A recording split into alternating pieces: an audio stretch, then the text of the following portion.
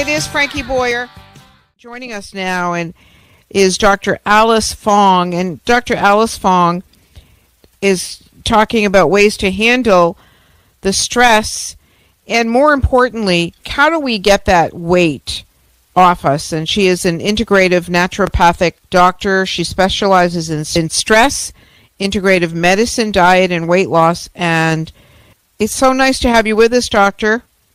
Yeah, it's so nice to be with you, Frankie. I appreciate you having me on your show. Today, the days will be a little bit longer. Thank mm. goodness, because this 4:15 sunset was just like a bit much, don't you think?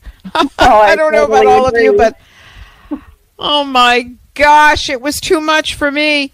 Uh, but you say Oh, get a no. light therapy box. Yes, light therapy makes such a difference. It's so depressing when it gets dark at four. My dogs are sad, you know, because I don't have time to get them to the park at that point, and it's it's just you you gotta make do, and it's light makes such a big difference when we're in the summertime. So to have it uh, in the winter only makes sense when it's so dark and gloomy. And I know that Nick was just talking about how clean we have to be with our food. Explain to me what that's all about because I mean we we just cannot play games anymore with our food, especially right now with COVID. COVID in our state is at is at an all-time high. The numbers are crazy. The emergency rooms are are so full. Um, People are just getting this disease this this virus at a ridiculous pace. And so now is not the time to let down your guard, even though it's the holiday. So, share with us a little bit about some of the food tips that you have recommended for us. Yeah, as far as food, I think it's you know it's it's it is a time of celebration, and it's okay to you know enjoy a little piece of cake or a cookie here and there, but it it doesn't give you free rein to just eat whatever you want. I mean, you can, but if you really want to take care of your health and well-being and reduce your likelihood of giving COVID or any other type of illness, you want to stay on top of eating clean, eating whole, less non-processed foods, vegetables, getting that. And so it's just like only eating like a cheat here and there for special occasions. That's fine, but don't just decide, well, if I'm going to fall off the wagon, I might really go all in, you know? Right, right. Uh, you know, I don't believe that at this time. I think that for many people, you know, you, you see, I think, Doctor, we we were not aware at the very beginning of this that COVID was going to take over. We were not aware.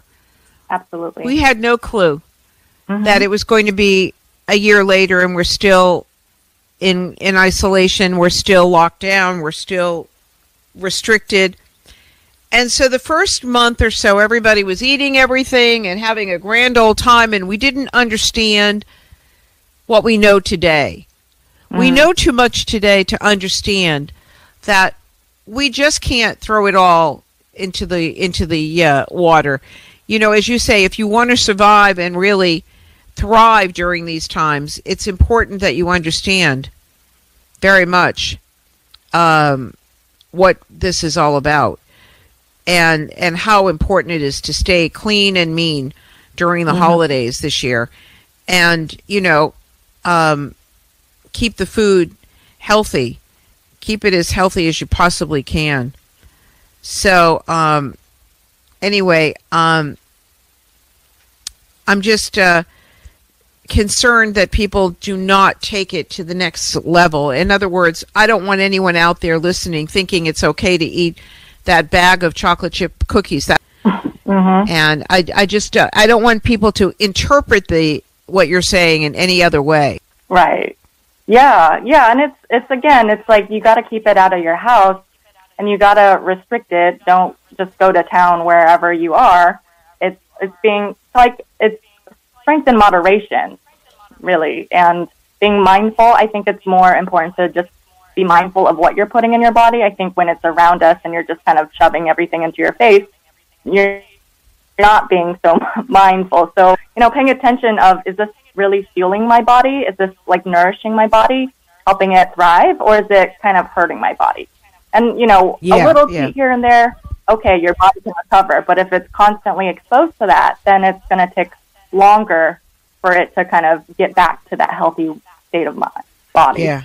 Tell me, I, I take an, an Epsom salts bath every single night. I love my tubs. I, I have so Oh. much fun with all mm-hmm. the essential oils, and I have a lot of fun with them. And it's what I do every single night. I can't imagine without. I can't imagine my life without that. It's just such such an important ritual that I've created for myself years ago, years and years and years ago.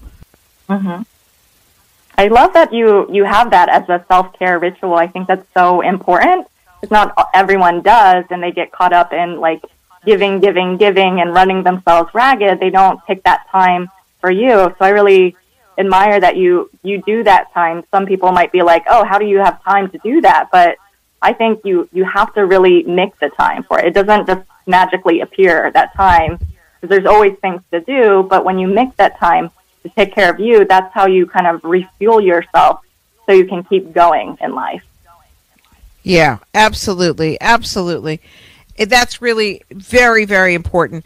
Um, sleep, obviously, we can't stress enough about sleep. We all know that if if we want to, we must, we must, we must get um, a tremendous amount of sleep. And you know, I don't, I don't know too many people that get, get eight to nine hours sleep, but occasionally, if you if you do, good for you. Good for you.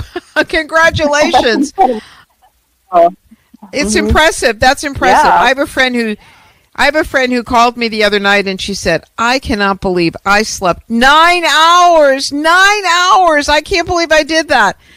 And, you know, occasionally if your body wants you to sleep 9 hours, then you go for it. You know, if you don't have to get up in the morning and your body is telling you stay in bed and sleep in, definitely you go for it. hmm Yeah, yeah. Our body has an intuition, and you know, if you're tired all the time, then you have to consider that you're not getting enough sleep. And for me, oh man, when I get nine hours, it's it's like a vacation. I haven't really. I I love that, and I have a, a Fitbit watch, and so I can see like when I literally get. I need at least seven hours. If if I'm less than seven, I'm I'm not as productive. I'm not as focused. I'm might be a little grumpy potentially. so, it's better for everyone if I get at least seven hours. But if I get eight or nine, it's just like, yeah, it's it's an incredible, and I I feel like I can like conquer the world. Wow. Good. But what is acceptable? At least seven, six and a half hours? It actually kind of depends. There's there's studies that show that people like individuals. There's some people that can actually function really well on four to six hours.